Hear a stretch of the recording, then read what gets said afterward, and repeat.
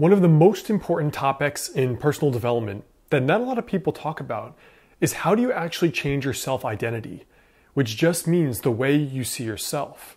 Because, I mean, after all, if you don't think you're a very desirable, sexy person, when you meet someone that you want to date that intimidates you, you're not going to act like a confident person. Or if there's a job that intimidates you and you don't think you're good enough for the job, then you're probably going to flunk the interview process. And in general, you tend to see that self belief tends to correlate with self success in all quadrants of life. But how do you change the way you see yourself and therefore the way the world sees you? Hey guys, Alex Heyne, your nerdy friend and author of Master the Day. Now, one of the best ways to change your self identity is through journaling. Now, the first link below this video, I've included a free journaling worksheet to help you figure out how to get your life together and create an awesome, incredible life. So check it out, the first link below.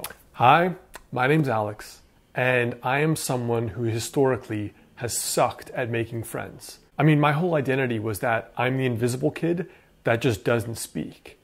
You know, my own family said that they were worried about me because I was so clammed up and introverted and I just never really spoke. So, a big piece of my identity was formed in middle school and high school, where I went to school with this girl my entire life from like whatever, second grade, preschool, all the way to going into high school, like eighth or ninth grade.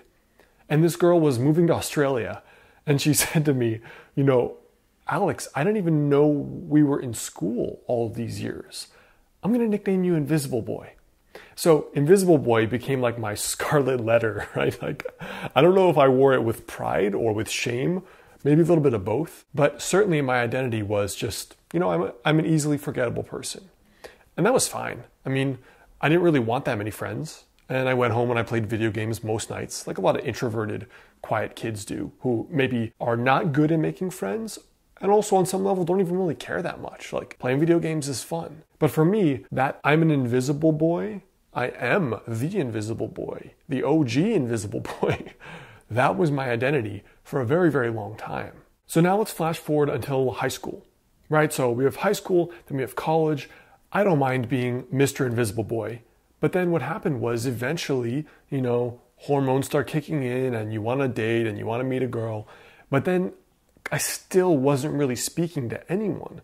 So I had not that many friends, even though I had a few. And I certainly wasn't talking to enough human beings to get a girlfriend. And now for me, as this guy in his late teens, that was a really big problem. So now I had to figure out, well, how do I change from being the OG invisible boy to someone who is a little bit more bright and shiny, or at the very least interacts with the human race and is not a complete misanthrope? So I came up with these three concepts, these three pieces to shifting your identity. So the first piece is you have to change one thing about the way that you think, right? Because my self perception, based on this scarlet letter that I really connected with on some level, was that I am Invisible Boy. So my perception was I'm Invisible Boy. Women won't notice me. Most people won't notice me. I don't really interact with humanity that much. I'm a little hermit in his video game grotto.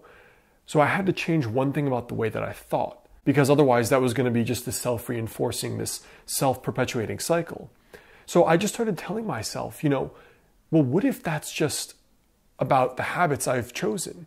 You know, maybe I just chose to play video games because it was fun, but it was less anxiety inducing than human interaction. And maybe I was just invisible boy because maybe one piece of me didn't want to talk to people, but maybe one piece of me really did want friends. But I was choosing the easy thing and not the brave thing, which could mean getting socially rejected, both in the friend zone and in the dating friend zone. So for you, this identity may be something around you're someone who sucks at math in a family where everyone's good at math and they expect you to be good at math because they want you to be an engineer. Maybe the identity is that you've always been the fat kid. Maybe identity is something about your personality, like you're you're really high strung or you're maybe too relaxed. Changing something about your identity starts with the way you think about it. The second thing for me is to change your identity, change one thing about how you are accountable to yourself. So going back to college, I decided that number one, I wanted more friends. I wanted to be someone who consistently made friends anywhere you went. because my self identity was the exact opposite of that. Making friends is hard. I don't want to start over. I don't want to transfer schools. So I had to do the opposite. So my friends and I, we made this bet. And the bet was basically how many people can you talk to randomly on a daily basis? And whoever talked to the most on a daily basis didn't have to be a girl, didn't have to be romantic, just practicing being a person with good social skills, who's friendly, who's not invisible, who can get along with people, and who naturally jives and connects with people. So the person who had the most natural conversations, and it was the honor code, they got 10 bucks that day. Then we upped the ante. Then if you talk to a girl you were potentially interested in, then that would be another $10 bounty. So we played this game and, and that kind of became the accountability factor. Because if you're alone, you know, you can let yourself off the hook easily. And often we do let ourselves off the hook, which is why most of us do not live these lives of ultra high performance in all quadrants of life. Because we don't hold ourselves to a very high level, even though we genuinely would really want those things. Now, the third thing is to make one change regarding a daily ritual, right? We come back to the Master of the Day philosophy changing one thing you do daily in alignment with who you want to be. So, one of the things was naturally continuing conversations beyond what they would be, you know, like socially acceptable highs and buys.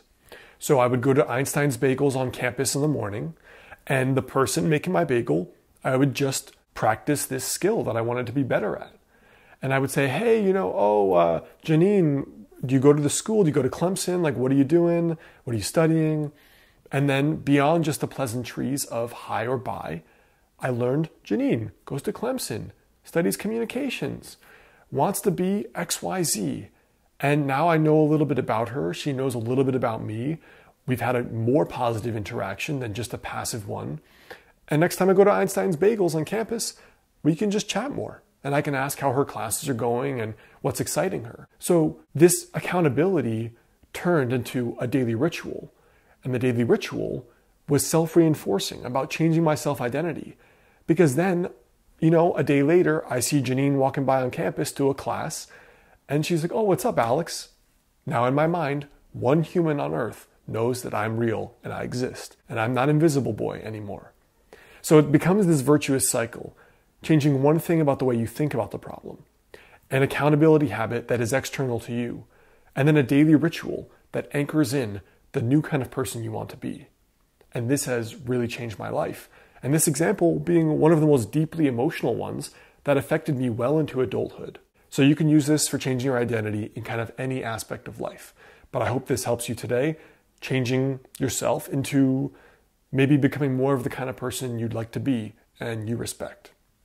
All right, guys, that's what I got for today. Something super important. And again, check out the free journaling worksheet below this video. That's a really helpful way to script out what is my self perception and identity, and then the new rituals and new accountability methods you can use to become the next level version of yourself. All right, before you go, check out these two related videos right here.